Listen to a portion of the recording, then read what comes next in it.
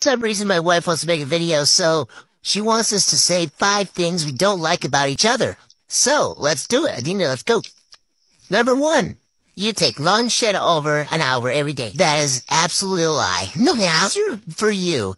You hire the cleaning girls to come every week and hide all my shit all over the house. I mean, hell, you never clean. You're next. Ha, you always leave your clothes on the floor. And that's what I need to hire the thing. Thank yours. Well, I mean, it's not that bad. But I, I just tell you where they are. You unplug all the chargers and hide them so there's nowhere to charge your phones. No, yeah, they can never find them. You can never organization. You don't know about that. Uh, you always say that you work, that you're working, but you're just making TikTok or watching TikTok. That is called working. Yeah, no, that's 100% working. No, you book multiple vacations every month.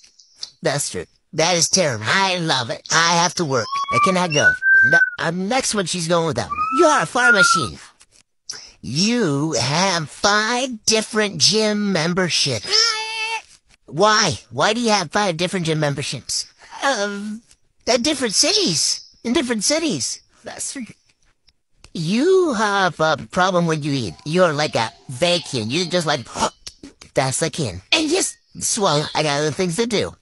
Since you're from Venezuela, everywhere you go, you're an hour late. If you're supposed to be there seven, you're there at eight o'clock. Huh, yes, a hour late everywhere. I have to say, like, this is white people. It's eight